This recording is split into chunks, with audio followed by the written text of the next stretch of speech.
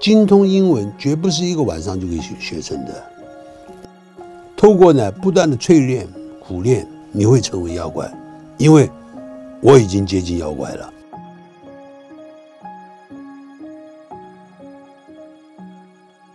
大概就在我小学的时候，顶了一家面店，我负责洗碗。在这个环境之下，是功课当然是不太好的啦。我在初中的时候就开始当模范生了，啊，就 模范给给大家看，不读书的人是什么样的一个下场。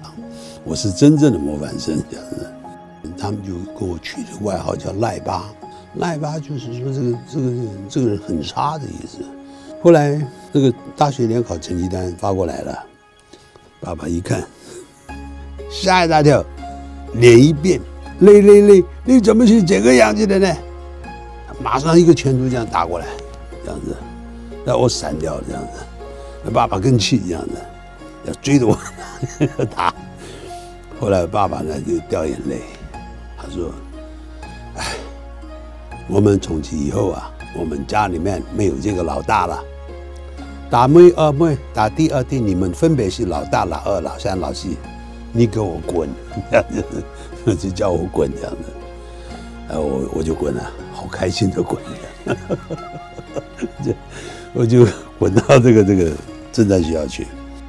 刚开始的时候，那学长都用骗的，因为还没有还没有入伍，所以留在学校的学长都对我们非常客气。入伍回来之后，早上六点钟。全部学长脸变了，果然都是魔鬼。三秒钟下床，这个是我们在我们是上下铺嘛，三秒钟下床，那怎么下床啊？那只好东跳的，啪，掉下来这样子。隔了这连一两个礼拜，写了一封信，写给爸爸，爸爸儿错了，希望你早点赎我回去。我一定会重新努力，考上理想的大学，这样子。后来没想到，两个礼拜以后呢，这个信呢，原来是寄到我们长官手中了，这样子。他拿了我的信，他说：“你不要逃跑，你要把这个环境当做一个所谓的一个天堂，读书的天堂。然后呢，你才能够脱胎换骨。”所以我就听了他的话，试试看。民国五十五年。西点军校的学生到侦探学校来访问，坐在我后头的，他站了起来，用很流利的英文这样讲讲讲英文。My name is Philip. Glad to see you all there. 哟，我说这个英文怎么讲的那么棒？回过头来，我以为是老外嘛，一看不是，是我们同学。我我就问他，我说，那呃，你是后来是怎么学的？他说我根本没有记文法，我也没有记单词。我是会念，我会念，我才会拼，所以我就是，我就我就在想，我就说我把我自己想成是一个新生儿，就就牙牙学语。我第一个我学音标，花三个月的时间；第二个学习绘画，三个月我就会讲话了；第三个我就学大量的平面的文章，变成立体的声音，然后随时随地。我又加了两样东西：描述法跟翻译法。什么描述法？那当你没有书的时候，就就就绘画书已经讲完了，你就随便可以讲。嗯，As I turn around, I see something over here。我看了一个东西。Oh, these are bonsais。他们是盆栽。但另外一个叫做翻译法。翻译法呢，太简单了。翻译法呢，你坐公车。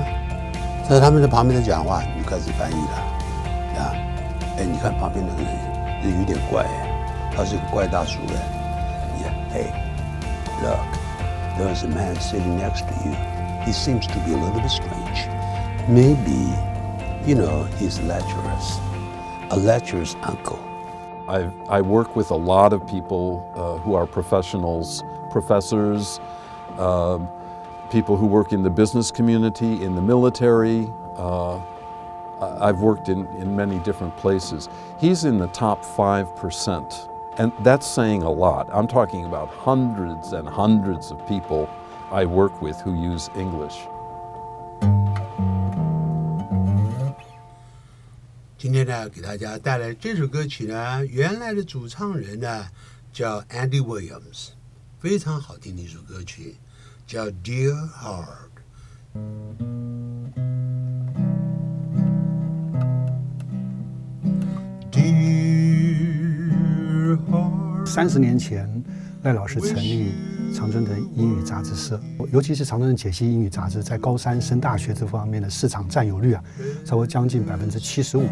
常春藤之所以能够就是三十年在台湾市场也好，在大陆市场也好备受肯定，主要是赖老师用同理心在经营这个事业，就是把所有的读者、所有的听众当成他当初想要学好英文那个时候的样子。呃，这十五六年来陪同赖老师到大陆出差或者演讲，那赖老师他都会利用时间啊，在一个角落席地而坐，然后就拿出校对稿，就开始在校对了。他乐在工作，每个人都可以到达这种程度。语言的学习没有一蹴而就的，精通英文绝不是一个晚上就可以学学成的。Live and learn，就是活到老学到老，真的是要这样子。久而久之就会变成妖怪。Your arms never